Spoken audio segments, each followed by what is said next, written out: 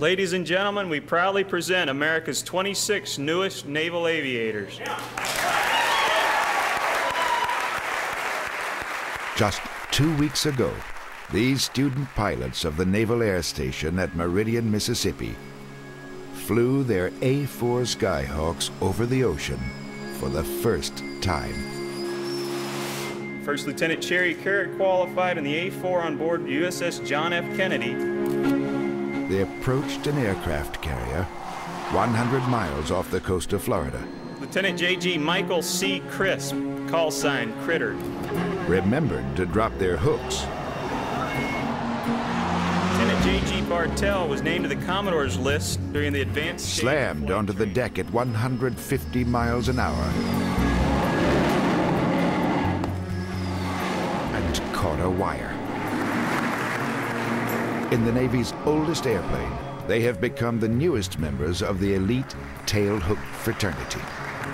It's 90% attitude and 10% ability, by the way. To each and every one of the new wingies, I wish you all the very best in the days ahead. It will be at least a year before these men are truly ready to face the test of combat.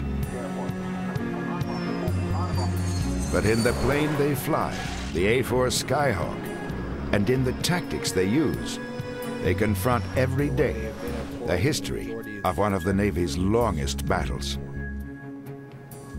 In 1966, our country was already becoming embroiled in the conflict in Southeast Asia in a small country by the name of Vietnam.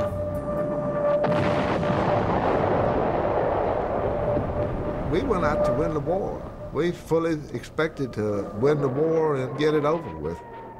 We didn't drop our bombs and go home. We dropped our bombs and went and looked. We were out there to find some trucks to, to blow them up, to find the barge and to sink it. We wanted to get a little hate and discontent in the game.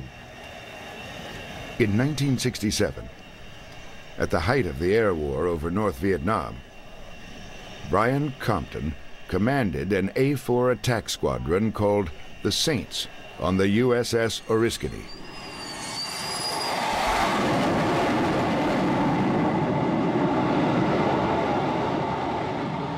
The attack pilots of the Oriskany saw more action and suffered more combat losses over North Vietnam than any other group in the Navy. The ball game is a different one once you go into combat. And you've got to use all the instincts you have to become uh, an elusive, uh, sure-footed fighter. Is there anybody here who doesn't know who this great man is? Jim Stockdale is probably best known today for his 1992 debut on the national political stage. In 1965, he was leading the pilots of the Oriskany into combat for the first time. The ability to improvise and to know that all of that peacetime stuff is out the window. A lot of people give that up very, very hesitantly. Jim started off, you know, working fairly low to the ground. You can get it so high you can't hardly see Vietnam. And matter of fact, some of those guys I think would have lost the bombs in from the coastline if they could. But you know, his attitude was to get in there and and to, to hit the target.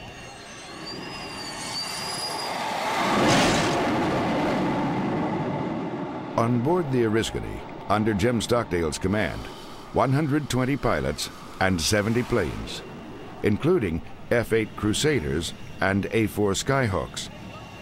The plane that flew more bombing missions into North Vietnam than any other naval aircraft.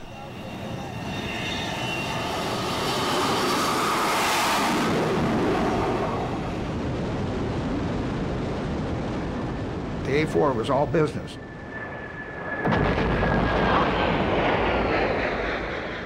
I mean, you were going to be down there on the ground looking at flak. And that's where I thought I should be. And that's where I was the day I got shot down.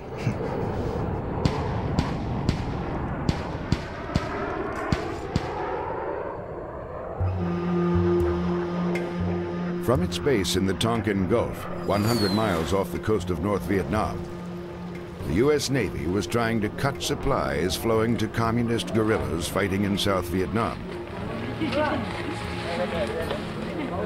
For years, North Vietnam had sent weapons, ammunition, and even people to the South in a drive to reunite the two countries.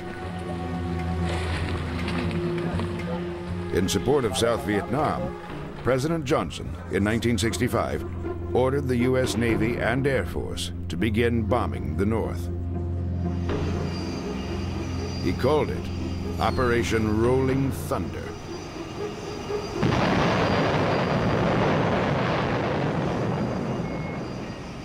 I've read since that Rolling Thunder, when it was programmed, was to be something like we saw in Desert Storm. Remember those couple of weeks of dashing air power? But it strung out. It strung out and was just a fancy name for very routine, occasional alpha strikes. Our mission will be an escort and flak suppression. In the parlance of Rolling Thunder, Alpha strikes were multi-plane missions against North Vietnam's militarily significant targets. Things that are, we should be ever mindful about in this In such a rural country, U.S. military leaders in 1965 counted just 94 of these targets. We'll be proceeding into the target on a heading of 090. That list became known as the Alpha or A list. In Operation Rolling Thunder, the decision to strike the A list targets came from Washington and not from commanders on the ships. Paul Engel was Jim Stockdale's operations officer. you know, go right by that steel plant, go right by that big production concrete plant, go by all the, the kinds of facilities that would aid and abet the enemy's success and bomb the bejeepers out of uh, the outhouse and come home, uh, having gone through all the fire. It was a mess. We frequently had to wait until way up the late hours of the night into the morning hours before we knew what ordnance to put on airplanes because we didn't know what we were going to be striking. The only exception then was running up and down the roads looking for trucks. Trucks and trains became the most common targets, while Hanoi and the port of Haiphong, where Soviet war supplies arrived almost daily, remained, for the time being, untouched. In 1965, Washington refused to grant the Navy permission to attack most of the targets on the Alpha list.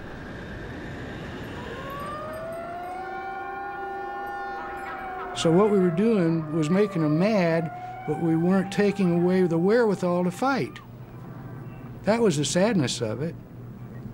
And rolling blunder was, was part of it, you know. Continue, I'm going to hit you a little bit harder if you don't do what I tell you. It's kind of an arrogant approach.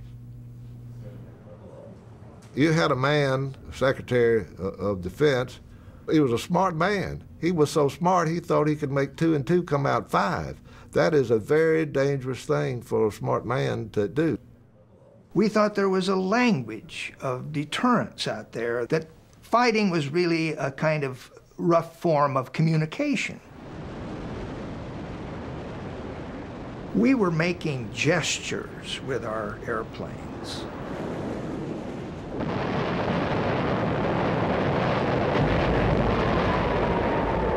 That's quite different than the Vietnamese thinking. We thought they would respond with gestures. But they didn't think of it as a gesture. They wondered what we thought we would accomplish by doing that. On September 9th, 1965, Jim Stockdale flew his A-4 Skyhawk over a familiar railroad yard in North Vietnam. I'd been over that the day before and didn't get any flack at all. This day, I heard the darn gun and I looked down there and here came these fireballs. It had been brought in the night before, 57 millimeter. That plane was on fire and upside down and there was no getting away from that. I knew I was the only wing commander to live through an ejection. I remembered the code of conduct. Article 4, if I am senior, I will take command. So I was giving myself a pep talk. I said, you're going to take over the leadership of that prison. And everything you've done heretofore is nothing in comparison to how you handle this next period of your life. I saw no hope. In fact, coming down my parachute, I said five years down there at least. And that was turned out to be wrong. It was nearly eight. Jim Stockdale was quickly captured. He became the first prisoner of war from the Oriskany, shot down in an A-4 Skyhawk.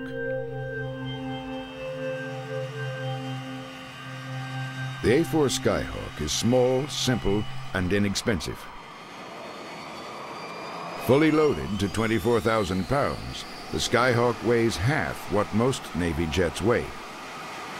Designed in 1954, the Douglas Aircraft Company built the Skyhawk with landing gear tall enough to fit a single nuclear bomb under its belly.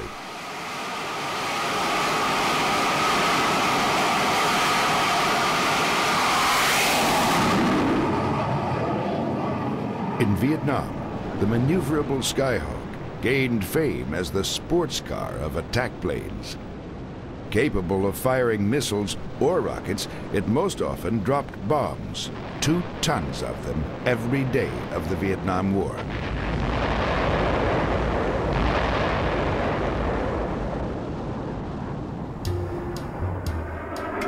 In 1965 and 66, the North Vietnamese began building much tougher defenses. Most formidably, radar-guided surface-to-air missiles, SAMs.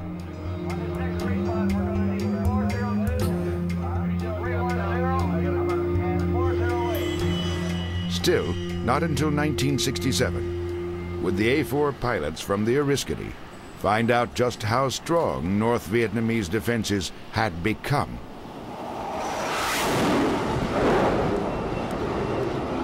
In 66, I think I saw total of three SAMs. And, and those weren't even SAMs that were shooting at me. And I tell you, there's a difference. A SAM that you see and one that you see chasing you are two different SAMs. In 1966, the Navy did begin to outfit the Oriskany's A-4s with radar detection equipment. Pilots would hear an alarm when a radar-guided missile was heading their way.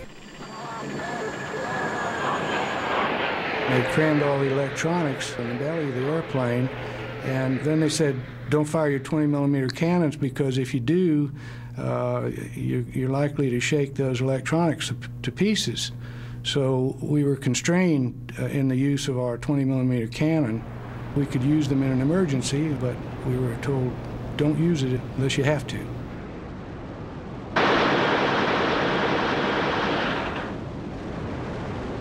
In 1966, the Americans began picking up the pace of their attacks, with Skyhawks flying 300 miles round trip to strike Haiphong and the outskirts of Hanoi. But the flow of supplies south continued unabated.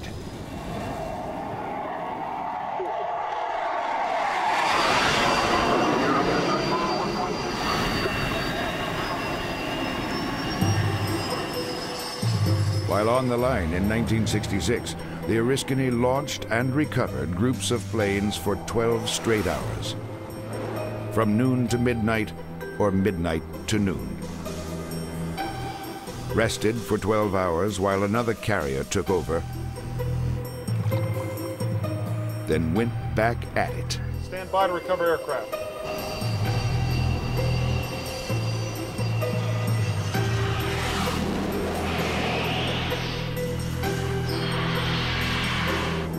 We were undoubtedly operating an aircraft carrier like it had never been operated before.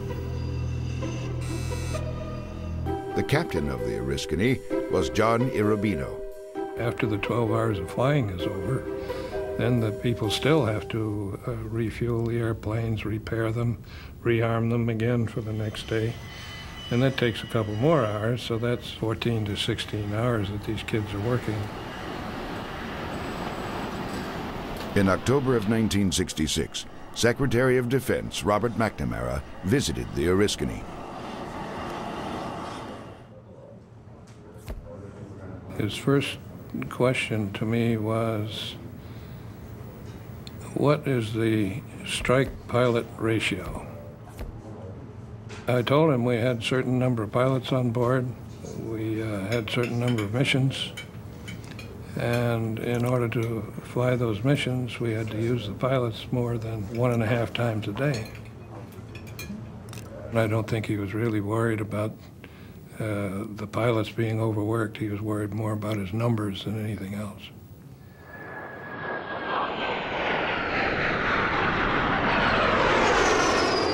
Missions flown, ordnance dropped. These were the measurements of success in the air war over Vietnam.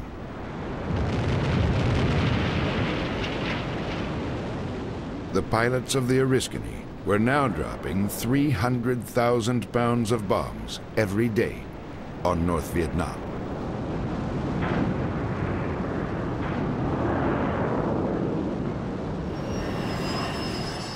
I had the feeling towards when we got on the line that it was more important to measure how much ordnance went over the bow than how effective that ordnance was. That was very disturbing. We were under intense, continuing, pressed, press on, on and on operations. And part of that whole pressure is, is the reason in my mind that we had a fire.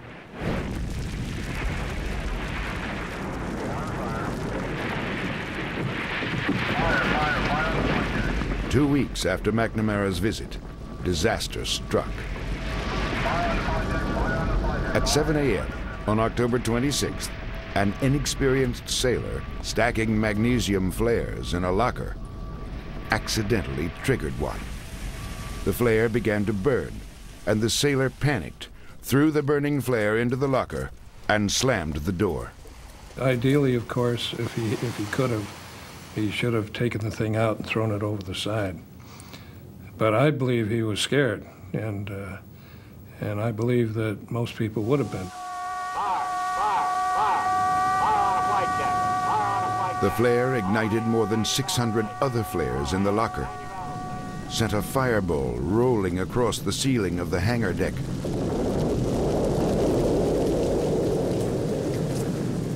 Scorching several A-4 Skyhawks and igniting two helicopters. The biggest enemy of a ship at sea is fire, and you don't have a fire of that magnitude without somebody getting hurt. Toxic smoke and heat poured through the ship's ventilation system and into the officers' quarters where A4 pilot Dave Carey was sleeping. I remember uh, hearing the fire alarm, waking up, and I opened the door to my stateroom. And it was like there was a, it was like walking into a bag of flour. The whole passageway was white. Paul Engel led a number of junior officers to safety. We managed to get out of there and get up the hangar deck, and then we started loading bombs, picking them up, manhandling them. There were people picking up thousand pound bombs, four or five guys running in, picking them up, and throwing them over the side. We could have lost the ship easily with that fire raging. Paul Engel then joined one of the search parties going through every space in the forward part of the ship where officers slept. Three hours after the fire began, Dave Carey was found in the ship's administration office. I remember walking forward and, and the guys from the squadron seeing me and they come running, there you are, there, you know, and they were delighted to see me, but I didn't realize, you know, why. Because they knew about all these people that were missing and they're bringing up bodies. And there, but for the grace of God, went I. It took four hours to put the fire out. 44 men were dead, eight sailors, and 36 officers, including 24 pilots. Most of them died of asphyxiation. There were two or three that died from burns.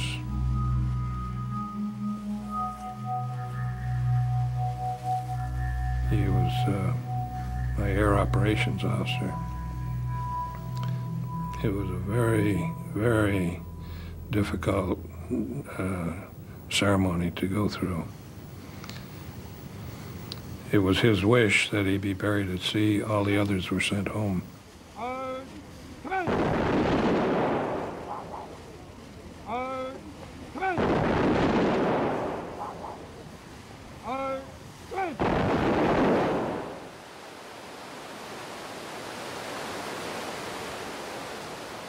When a rebuilt Oriskany returned to the Tonkin Gulf in July of 1967, its sailors would stand mortified and watch as an eerily similar disaster consumed the USS Forrestal.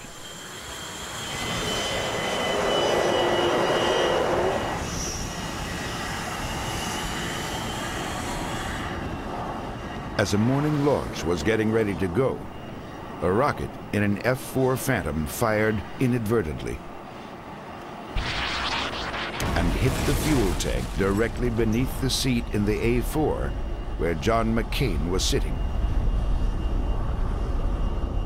There was a huge fire. I shut down the airplane and went out on the refueling probe and rolled through the fire that was already there on the flight deck and ran across the other end of the flight deck. I turned and looked towards the airplanes where the fire was at that time, and I started back, and as I did, the first bomb cooked off and exploded.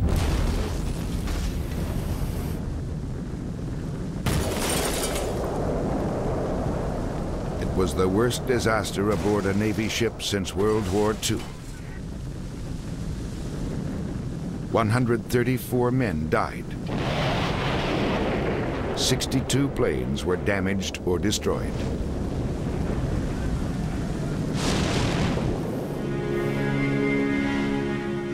With the Forrestal out of commission, John McCain elected to join the Saints, an A-4 attack squadron on the USS Oriskany.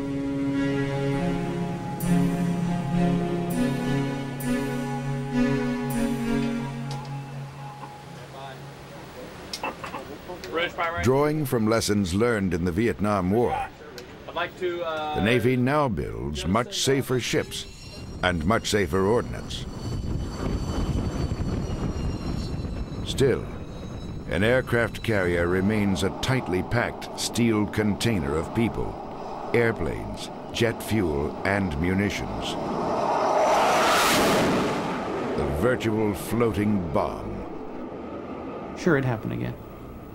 It's almost unavoidable because the weapons are dangerous. They're made to explode, they're made to destroy things. Bottom line is flying combat's dangerous. These tensions are up, safety's in place. Even in peacetime, the naval flying profession is one of the most dangerous in the world. A naval aviator is five times more likely to die in his plane than in his car. The ship is always moving. It's not a stable platform. It's very small. And a pilot has to learn to fly through a box that's about the size of his airplane and not much larger. The carrier landing strip is just 120 feet long, less than the distance across a baseball diamond from home plate to second base. It is so narrow, pilots must hit the line running down the middle of the deck. Deviations are deadly.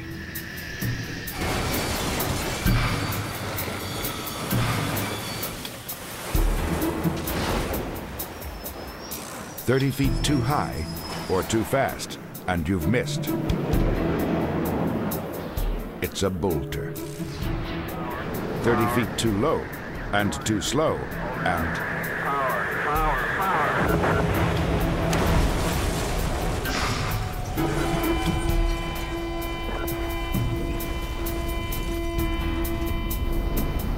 Two oh two, ball nine two couple. Which Ball couple. There's only one way to land most Navy jets on an aircraft carrier, and pilots practice it incessantly.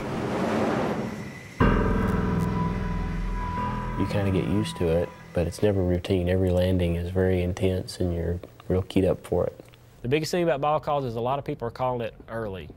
So make At the Naval Air Station in Meridian, Mississippi, it's Chris Rollins' job to teach the Navy's newest aviators to land on an aircraft carrier in the TA-4 Skyhawk. an immediate ejection. Once ubiquitous in the fleet, the A-4 Skyhawk, with an extra seat for an instructor, is serving its last years in the Navy as a training plane. You know, we joke and say that the most technologically advanced thing in an A4 is the digital watch you're probably wearing on your wrist. But this one is all manual. It's just you and the plane.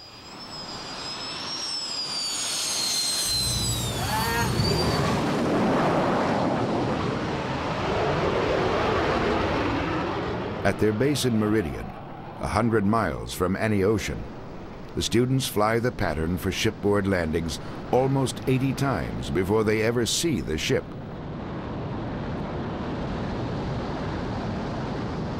Five two, Skyhawk ball one point four, Sierra seven zero, full stop.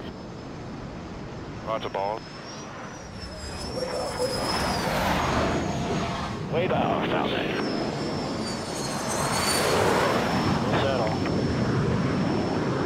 We get out to the ship, in theory, it's everything that we've experienced before, and you stick to the basics and it'll all work, supposedly. I can't believe they're going to let us go. I can't believe the taxpayers are going to let us go.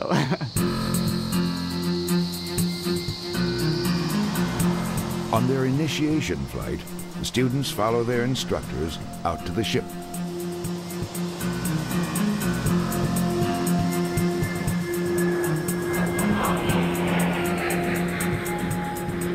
Just out of the blue, you see this tremendous wake, and then at the peak of the wake is this little tiny black piece of steel, and then they, they tell you that's where you're going to land. And the whole time I was just shaking my head. No, sorry, I can't do it.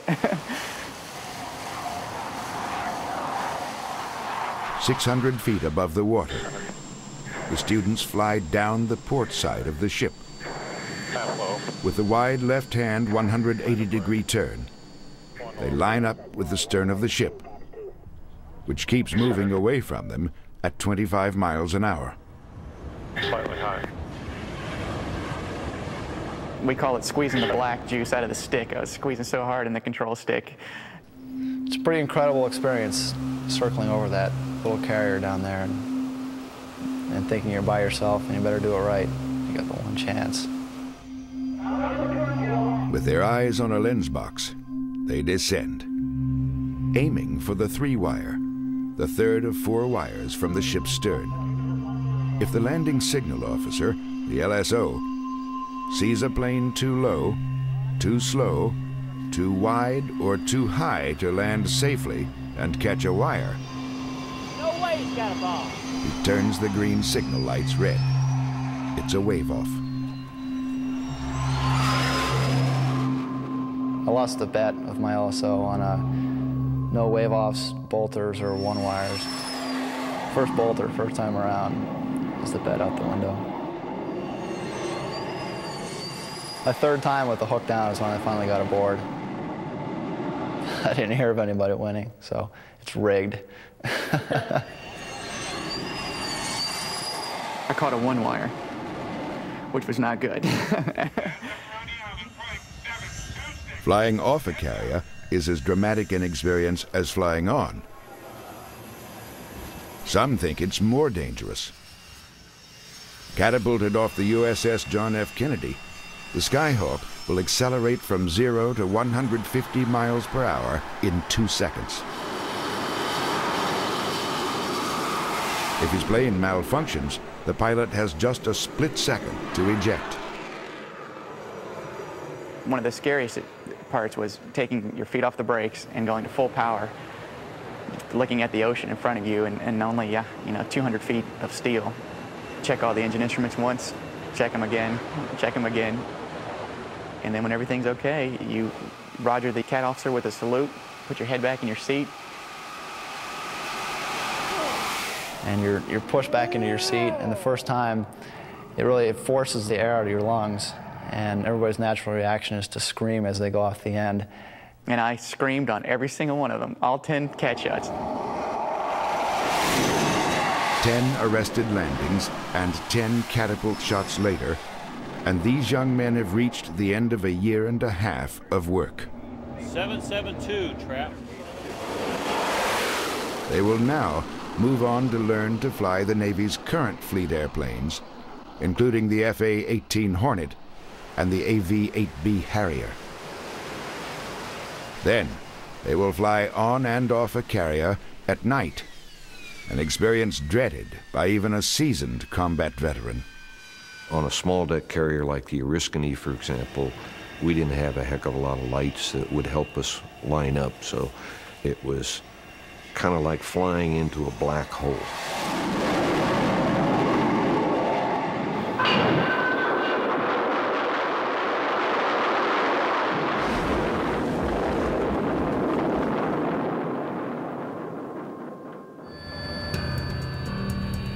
In July of 1967, when the repaired Oriskany returned to its battle station, its attack pilots found themselves flying against Alpha List targets in Hanoi and the port city of Haiphong for the first time in the war. So we were doing that three times a day, going into very heavily defended areas that was really beyond the experience base of the guys that had been on the cruise the year before.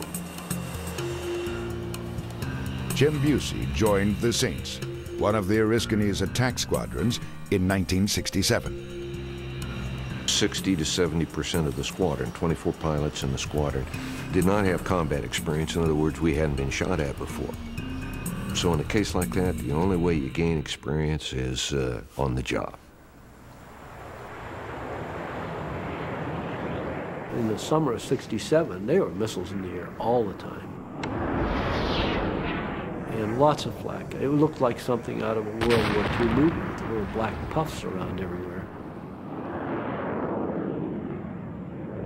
We were losing airplanes right and left. Uh, at least in my recollection, you know, we were, we were just losing airplanes like crazy. I'm directly over you. I have the man in the parachute in sight, and that's uh, 8 to 9 o'clock. Five, three, we're about there. In just its first week on the line, the Oriskany lost five out of 30 Skyhawks to combat from both the Saints and its sister squadron, the Ghost Riders.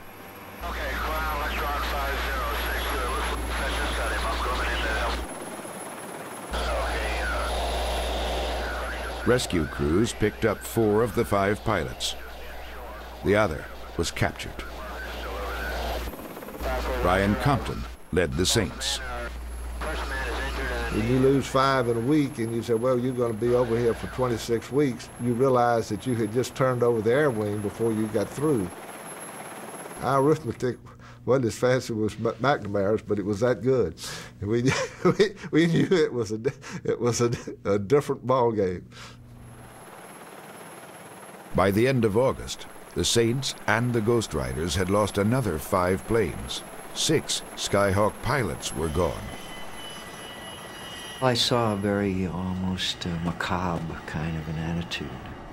We were out doing what we thought was right, uh, led, of course, by Bryan Compton, who was. Uh, John McCain, now a U.S. Senator from Arizona, joined the Saints as a replacement pilot in October of 1967. And yet, behind the bravado and the macho kind of attitude, I did see a great sadness when we would lose uh, a pilot, but when it happened, I think it gave us renewed vigor.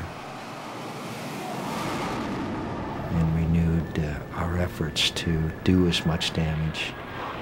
One of the things we used to say, if we destroy this target, then we won't have to go back. I don't think we really changed tactics. Uh, in other words, we didn't back off. We had some ground rules. In other words, we would not go below 3,000 feet ordinarily. The, the ground rules, they're not laws. Uh, we would not make a second run on a target, you know, ground rules, not laws.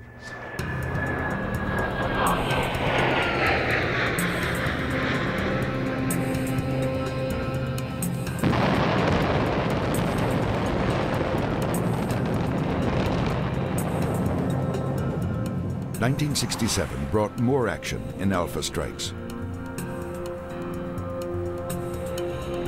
It also brought a new weapon into the war, the first TV-guided smart bomb, the Walleye. The pilot locked a camera in the nose of the Walleye on the target. The bomb then followed its line of sight to detonation. As soon as you've released it, you can get out of there. It likes uh, maximum contrast, so if it's a white building window, then the windows looks dark, it will go for that, that point of contrast.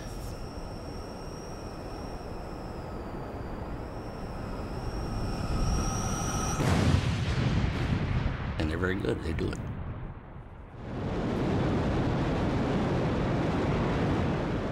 When the Saints arrived in the Tonkin Gulf, they requested to use the walleye to take out the Hanoi thermal power plant.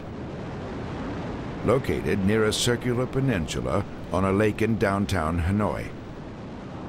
A very heavily defended target, very high up on the A-list. We don't want to kill innocent civilian people if we can avoid it. Obviously, if you're going to drop some bombs on a power plant in the middle of town, there's a, a fair probability that some civilian casualties will occur. And so there's an effort made to try and prevent that. One of them is don't go there.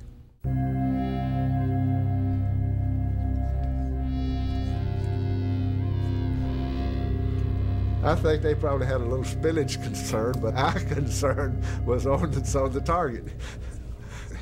There were no registered Alabama voters there that I knew of. Three weeks later, approval finally came through. Using the highly accurate walleye, the Saints chose to strike with just six A4s with F-8 Crusaders for fighter cover.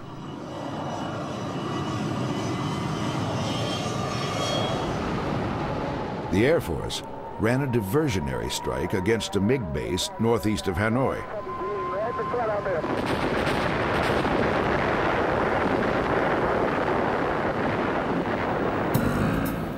Leaving their crusaders outside to watch for MiGs, the Saints approached the city alone.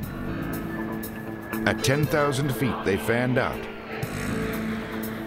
descending at 450 miles an hour they glided in at a 15 degree angle all at once from different points on the compass. They found the power plant shrouded in smoke. From smoke pots the North Vietnamese placed around the plant to fool the walleye. Jim Busey flew in from the north amid fierce anti-aircraft fire, and the first of 28 surface-to-air missiles. I remember uh, being head down in the cockpit on the, uh, the Sony scope to get the weapon locked on my window, the window that was assigned to me on the, on the power plant. And just as I locked on, the airplane was, was thrown off of that lock. And instead of looking at the thermal power plant, I was looking at the Paul Doumer Bridge, which was the main bridge across the river in downtown Hanoi. And I was upside down. Hardly missing a beat, Jim Busey righted his airplane, relocked the walleye on the power plant, and let it go.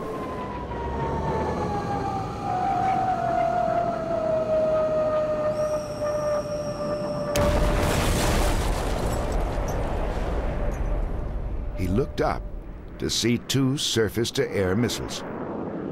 Then I looked out the right wing and saw that it was on fire, that I'd had some anti-aircraft fire going through the wing.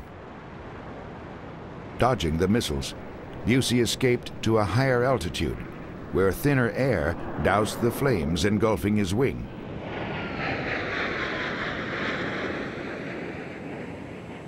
When he landed back on the Oriskany, he counted 127 holes in his airplane, a testament to the survivability of his tiny Skyhawk. But other than that, it, was, it really was a nice flight. We didn't lose an airplane, uh, so that, that was a big plus. Five of the six walleyes, including Jim Busey's, hit that target, knocking out power to downtown Hanoi. Bryan Compton led the strike. They didn't put out any lights that night. We were talking to the registered voters of Hanoi. Bryan Compton received the Navy Cross, the Navy's highest honor. Jim Busey also was awarded a Navy Cross. Bryan's approach was from the south, and after he released his weapon, he flew on over the power plant and circled it at least twice, taking pictures before he headed on out.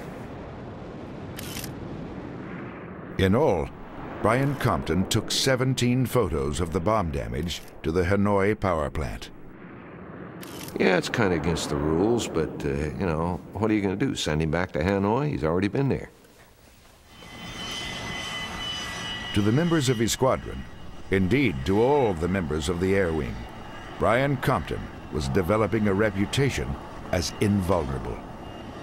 I have very vivid memories of a flight that I was on with Bryan Compton when I was the number three person, and the number two person was shot down and crashed inside of Haiphong. And Bryan Compton was concerned about trying to find out whether the pilot survived or not. And so he kept circling around the city of Haiphong at a very low altitude, around 2,000 feet. They were firing everything. Missiles, anti-aircraft guns, I'm sure rifles. everything was being fired at us, and he kept circling around, and we'd go John out. is exaggerating. He said I took him over high Haiphong seven times.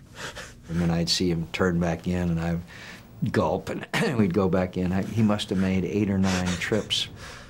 You can't but trust these politicians, honey. They'll lie to you every time.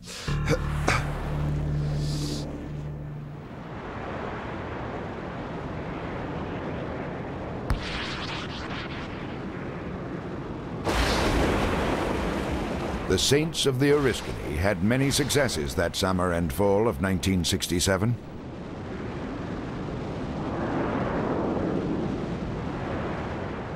They blew all the major bridges around Haiphong, temporarily isolating the port city from the rest of the country.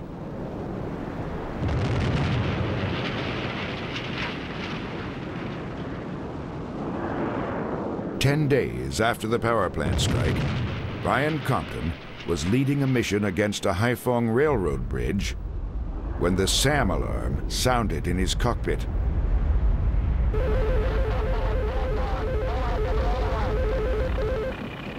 If I see that missile, I'm convinced that I can outmaneuver that missile. And when you got to the right time, you know, you maneuvered violently. I generally prefer to go up, but you can make the movement in any direction.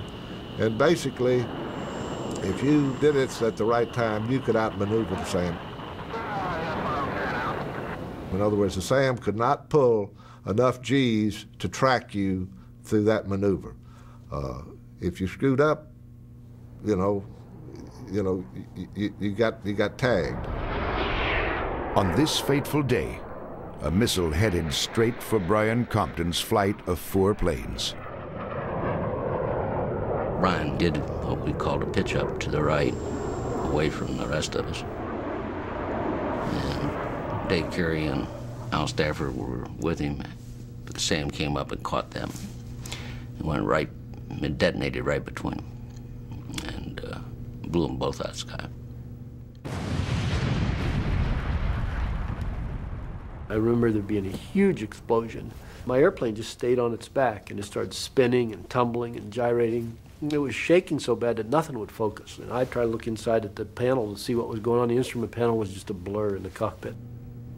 About the time that I was about to yell, eject,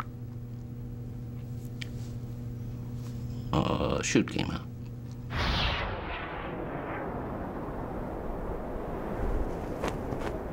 All of a sudden, everything was very quiet, except I could hear airplanes, I could hear guns, I could hear anti-aircraft fire, I could hear a lot of shooting, and I'm hanging in a parachute, looked down, and I landed in the middle of a small North Vietnamese village. Uh, he came up on the radio, and uh, his little handheld emergency radio. And uh, I asked him if he was all right.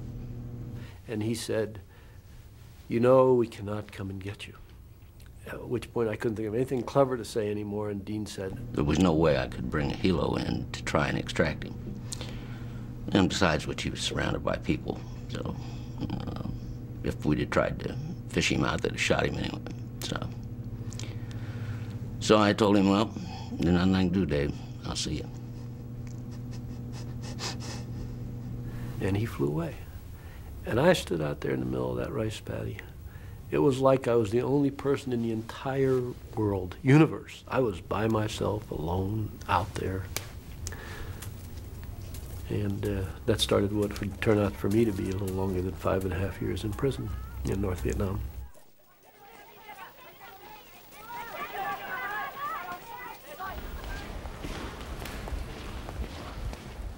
Running very low on pilots and planes, the Saints cast about for volunteers. Overall flow today, as we've done the John McCain, on the Forrestal when fire consumed that ship, signed up.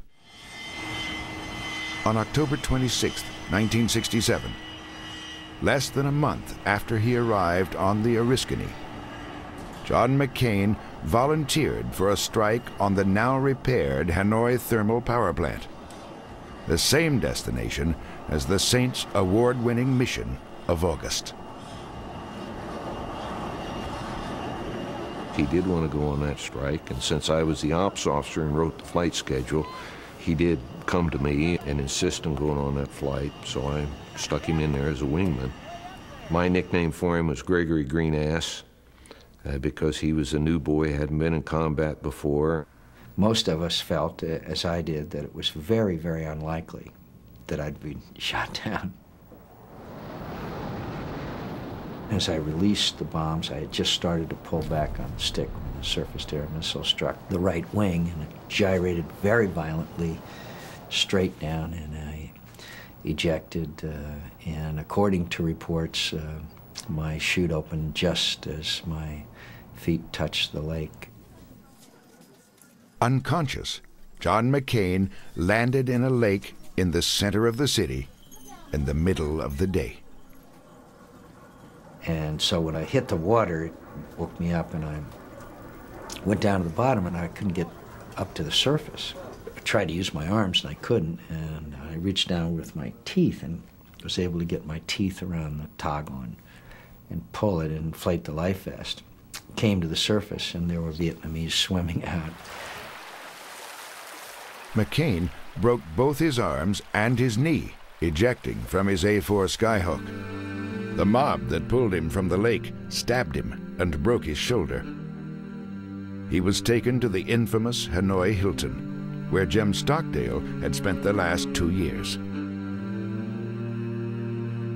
He was probably more beat up when he got to prison than anybody that ever lived through a, a rough ride and a rough treatment after he got picked up.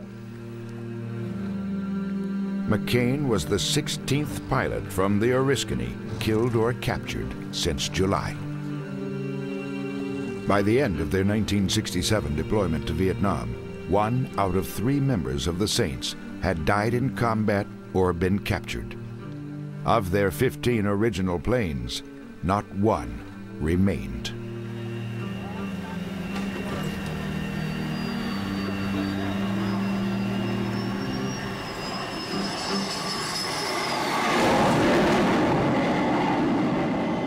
In the three years of Operation Rolling Thunder, the Oriskany had lost 38 pilots and 60 planes, including 29 Skyhawks, to combat, the highest loss rate of any carrier in the war. In the fall of 1967, the Navy sent a safety team to investigate the tactics of the pilots. They were very quick to see that what we were doing in the summer and fall of 1967 was significantly different than what had been done before.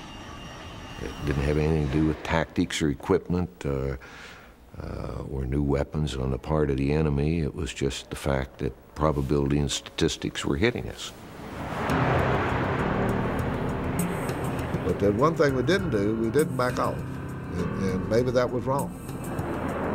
And maybe my leadership was defective because I had not given people a, a, I didn't offer that as an option. You know, the, the, option was we came to fight, and that's what I expect you to do. Yeah, he was aggressive.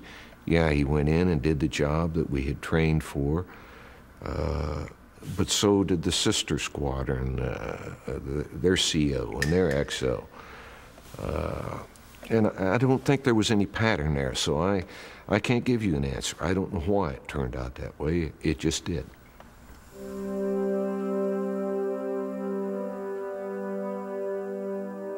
When the bombardment failed to deter the North Vietnamese, President Johnson ended Operation Rolling Thunder in 1968.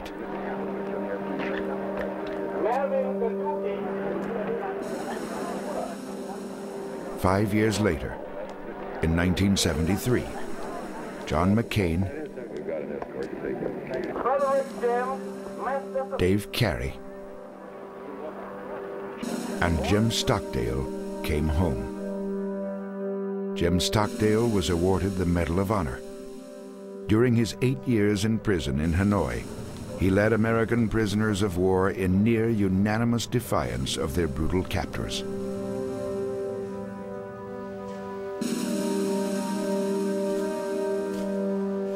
In 1993, the remains of the last Oriskany pilot and the last saint to die in Operation Rolling Thunder came home. 24-year-old Ralph Foulks was an A-4 Skyhawk pilot killed on a routine road reconnaissance mission over North Vietnam on January 5, 1968. And I tell you here today that I stand before the company of heroes and future heroes in our Navy and our Marine Corps. May you always fly a center ball May you never forget to drop your hook. The men who lead the Navy today were the youngest officers in Vietnam. The last of a generation torn apart by war, now teaching the lessons of that conflict to the first generation born too late to remember it. don't, don't worry, I'm a naval aviator.